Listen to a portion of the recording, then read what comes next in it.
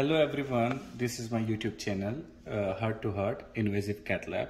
To, in today's to topic, we are going to talk about uh, uh, the IABP. Uh, this is the IABP, model is CS300 and uh, the IABP machine. IABP is the short form of intra-aortic balloon pump. In this video, we will just quickly review the usage and preparation of the IABP. So this is the model CS300 and uh, in today's video we will talk about how to get it ready for the procedure. First of all, this is a turn and off button as you can see, right? So turn on the machine from here, right? Make sure after you turn on the machine, make sure you have the heparinized line ready as per the protocol, right? With the pressure line this is the helium gas cylinder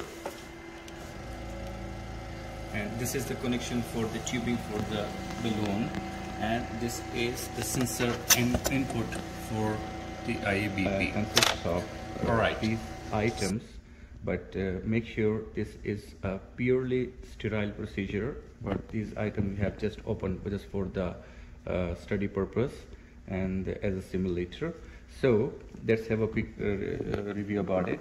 This is the sheath, femoral sheath uh, kit. This is the puncture needle. This is the mini guide wire. This is the dilator of the sheath and this is the sheath itself with hemostatic valve. So uh, this procedure is performed uh, with Seldinger technique like uh, first we prep the sensor input cable, right? We need to connect it to the machine on the back side if you can see here's a port for the sensor input. Make sure there's an arrow so arrow goes to the arrow like this way. If we insert it this way it will not be inserted it's wrong. So make sure this arrow is inserted into the arrow position like this is the proper way now to insert.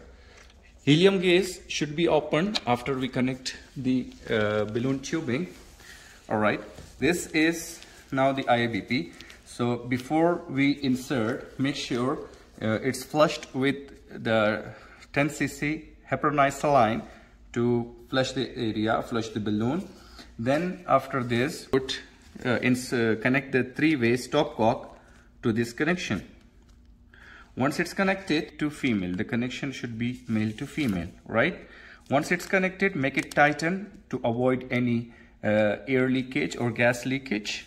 This is the end port of the tubing for the gas which runs through this tubing uh, towards the balloon. So now after this connect this tubing to the back side of the machine. Here you can see this is the place, this is the point where you have to connect it. So once you insert this way, just try to connect it like this. Once it's connected, now we are ready After getting the machine ready, we have, as uh, earlier we have mentioned that uh, the heparinized saline should be ready. It, the total procedure is in the sterile way. So connect this pressure line to this three-way stopcock, right? And aspirate first. Either you can aspirate to avoid any air bubble.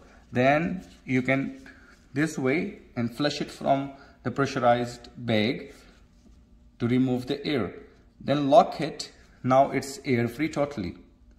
So we have the pressure on the IABP after this. Then now it's time to release the helium gas into the balloon.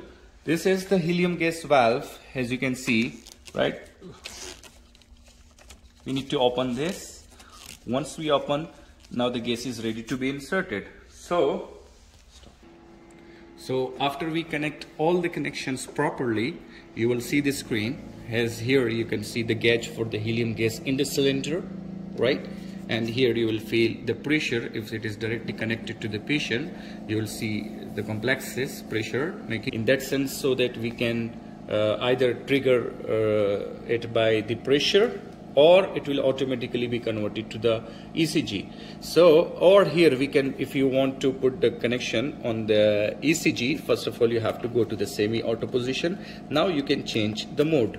you want to have these sensors on the ECG or the pressure it depends upon you so let's suppose let's put it on the auto now for a time being right here's for the pediatric right work on the auto for a time being so uh, you will close the pressure line and make it hold it for seconds to make it zero. Once the pressure is zero right you can turn on the pressure line again to have the invasive pressure. This is for timing now on standby. So before you do anything try to augment the balloon to the maximum. It will be having augmentation. Rate is 1 is to 1 1 is to 2 depends. Let's put it on 1 is to 2 now for a time being right? Then after that when you put the start button it will ask once it's ready right? Then we'll now as you can see on the screen the IABP has started.